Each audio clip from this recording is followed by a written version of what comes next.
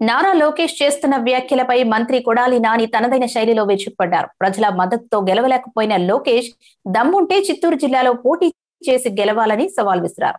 దమ్ముంటే లోకేష్ సర్పంచ్గా గెలవగలిగితే తాను రాష్ట్రం వదిలి వెళ్ళిపోతానంటూ సవాల్ విసిరారు మంత్రి కొడాలి నాని. ఈ లోకేష్ హాఫ్ నాలెడ్జ్ గడి ఒక ముఖ్యమంత్రి కొడుకుగా ఒక ముఖ్యమంత్రి మనోడుగా మూడు శాఖలుగా మంత్రిగా చేసినటువంటి ఈ దద్దమ్మ పప్పు పక్కన ఉన్నటువంటి మంగళగిరిలో పోటీ చేసి ఓడిపోయినటువంటి సన్నాసి. ఏదో దొడ్డిదారిన అధికారంలోకి వచ్చేటువంటి వ్యక్తులే కానీ ఈ చంద్రబాబు నాయుడు కానీ లోకేష్ కానీ ప్రజల మద్దతుతో ఎప్పుడు కూడా గెలిచినటువంటి పరిస్థితి లేదు. అటువంటి మతం సన్నాసి గురించి మీరు క్వశ్చన్లు వేస్తే నేనేం సమాధానం చెబుతా? ఇక్కడ మాకు సర్పంచ్గా పోటీ చేస్తే వైఎస్ఆర్ కాంగ్రెస్ పార్టీ ప్రపంచం ఏంటో జగన్మోహన్ రెడ్డి గారి దెబ్బ ఏంటో గ్రామంలో చూసేవాడు.